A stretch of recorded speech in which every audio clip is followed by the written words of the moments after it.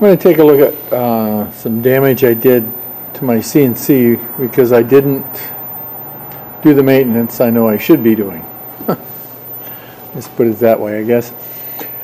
What I did is I've been running my CNC for about maybe two or three months since I lubricated it, which isn't bad if you don't use it that often. But lately I've been running this one quite a bit and simply neglected to do the kind of lubrication that I should have done.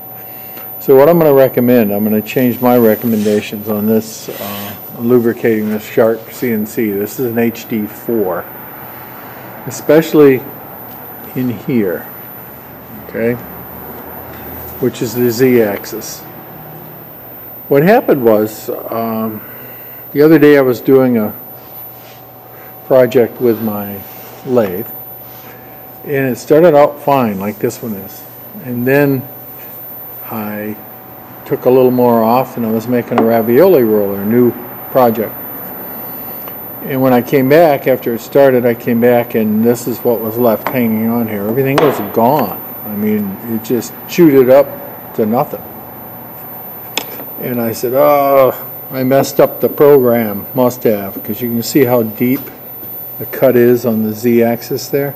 See how it went all the way down in? The way, way down in. So it cut it basically in half. I mean, it chewed it to, there was nothing left.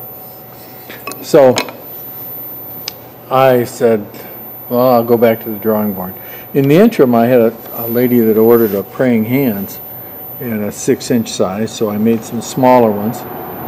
And when I was doing it, whether you can see the focus on this or not, you see right there that this is the first part of the praying hands. These are the collars and the fingers. And if you look right in here, you can actually see some of the ridges. See if I can cast some shadows on that so you can see it. See those ripples? That tells me that the z-axis is starting to act up. When it does, it's not uniform or smooth like that, that tells me you're missing some steps. And that's basically what started happening. And then once it started locking up, missing steps, what that does is allows it to change its Z position. So instead of the Z position being up here, it thinks it's down here someplace.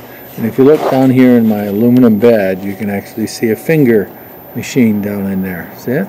That's actually a finger that goes with this praying hands.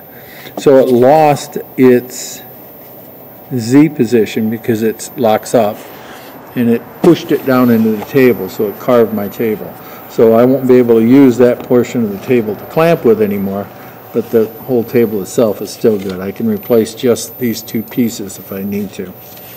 Now, and then you can see that it actually cut right through here. So it made the next carving lowered, and when I came out and saw that, I stopped it. You can see there how it, it cut through. So it's lost its Z position. And the reason it does that is basically the bearings get bound up in here and it skips steps. Or up here on the top, there's a screw that you need to check periodically to make sure it's not loose. And it's not. I mean, you can't move that independently from here. One of the easy ways to do that, to find out if that's moving, is you just run this into a hard stop up here which I'll do here shortly. If I do my Z out, I'm going to slow this down so it doesn't make so much noise when it hits. Okay, right in there. Now I'll slow it down a little bit more to slow, and you'll hear it. You'll bottom out.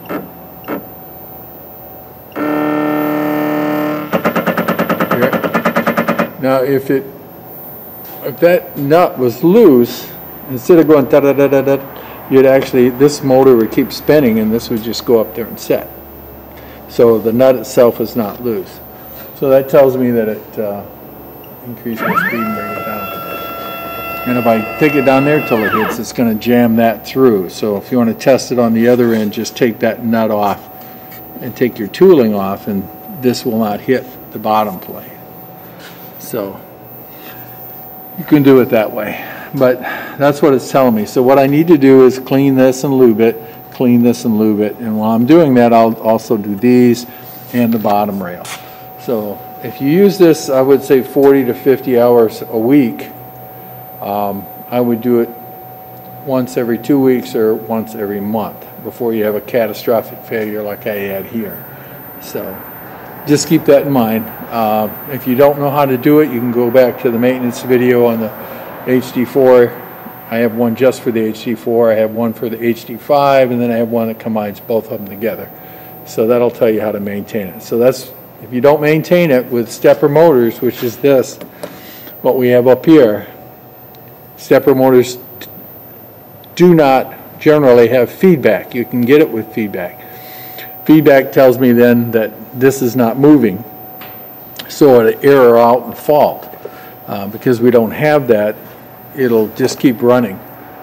So if it loses steps, which it does if it binds up because of a lack of lubrication or a bearing failure, then you will tear things up, cut things up, I should say, because nothing is really destroyed.